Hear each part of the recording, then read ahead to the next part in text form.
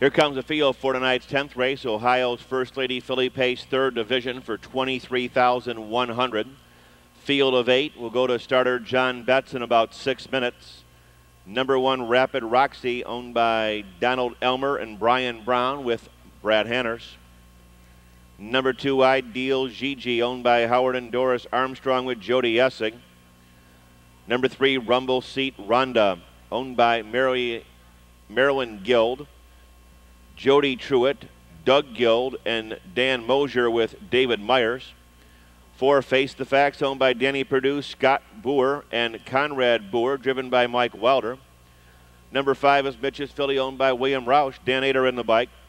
Number six is True Tucson, over the Bad Boy Stable with Terry Holton. Seven, Debbie's Bud Light, owned by Terry Gillian with Dave Hawk. Eight, Princess Tradition, owned by Sugar Knoll Farms. Jim Padaliano will be in the sulky. Field for race 10. Post time in five minutes.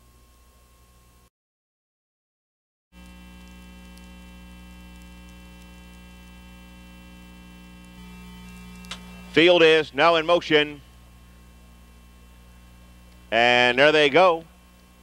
They're off and pacing the five. Mitch's Philly off stride before the start and seems hopelessly out of this one. As they move down the back stretch for the lead, Ideal Gigi steps around Rapid Roxy to get the top. Here's Rumble Seat Ronda in the third, trying to leave and not able to go on True Tucson. Midway on the turn, face the facts. Debbie's Bud Light is up on the outside.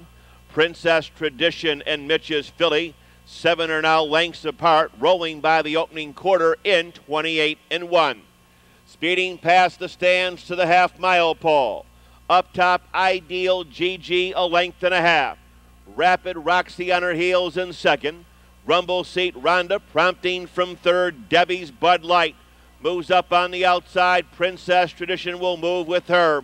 Around the clubhouse turn, True Tucson after that face the facts and Mitch's Filly were down to seven at the half mile pole. Ideal Gigi by a length.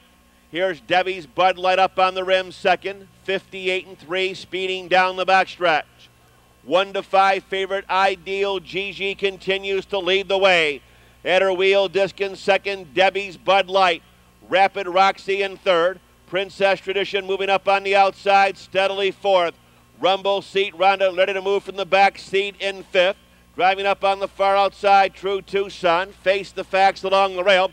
Mitch's Philly is at the end in 126 and 3. The favorite now begins to open up some daylight. It's Ideal Gigi on top. Rapid Roxy in second. Here's Rumble Seat Ronda coming on third. Racing through the stretch. Ideal Gigi being asked for her best. Rapid Roxy is closing in. Rumble seat Ronda's up on the far outside. Ideal Gigi in front.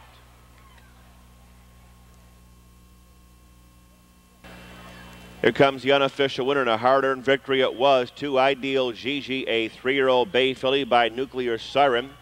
Out of HR's Gigi by Towner's Big Guy, owned in Connersville, Indiana by Howard and Doris Armstrong. Trained by Joe Essig, driven tonight by Jody Essig, going coast to coast in a lifetime best equaling 155 and 1. Number two, Ideal Gigi, the winner of tonight's 10th race. Number three, Rumble Seat Ronda was up second. Number one, Rapid Roxy third and eight. Princess Tradition was fourth. Two, three exacta 19 even in the try, $54.80. 54.80. Windows are now open on race 11, sponsored by Trader Bud's Westside Dodge. No changes in the final pick three. Post time 10:57.